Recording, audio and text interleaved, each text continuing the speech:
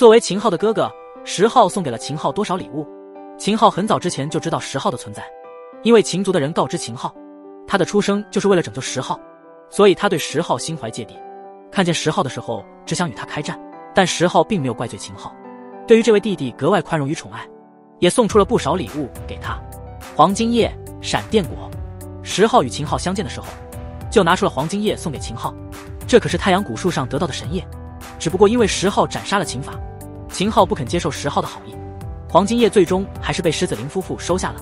石子林夫妇都看不过去秦昊的冷漠，石昊却还能笑着打圆场。秦昊能有这样的反应很正常，从小就被灌输是为了救哥哥而生，而且又没有跟石昊真的相处过，自然跟石昊没有任何感情。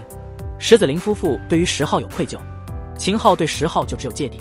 但是在看见石昊强悍的行事作风后，秦昊对于石昊也有所改观。石昊在送闪电果给他的时候，秦昊也不再拒人于千里之外。至尊骨，至尊骨是十号分外珍视之物。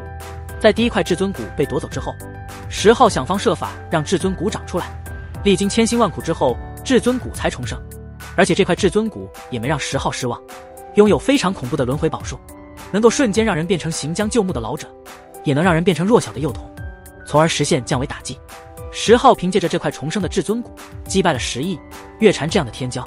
但就是这样一块意义重大的至尊骨，石昊在自己濒临死亡的时候，主动将它送给了秦昊，可谓是斩断了自己的最后一点生机。当时石昊唯一放心不下的就是父母，他希望秦昊能借助至尊骨变得更强。秦昊凭借着身上的两块骨，在上界闯出了赫赫威名。只要将实力压制到同一个境界，基本就没有人能够过上三招。秦昊就是所向披靡，堪称无敌。然而，贡献出一块至尊骨的石昊，在上界秦族却像是一个禁忌人物，甚至都不允许周围人提起，唯恐败坏了秦昊的天才之名。保命手段、秘法，石昊在上界凶名远扬，无数人对石昊十分忌惮的同时，也有不少人想将石昊斩杀。比如说，风族的人就要追杀石昊，因此石昊重回下界，一方面是思念故土，一方面也是避难。同时，石昊也能在下界进行磨砺。对于很多修士来说，下界道法残缺，不利于修行，但石昊的道与众不同，只当是另类磨练。由于秦昊一心变强，就留在了上界。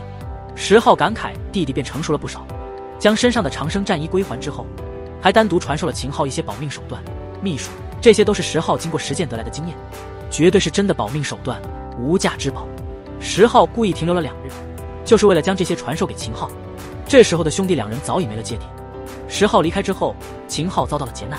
因为石昊太过强大，有人就挑秦昊这个稍软的柿子捏。秦昊还因为身上的仙骨，在仙域的时候被九头怪抓走，被剥夺了仙骨，也被幽禁了起来。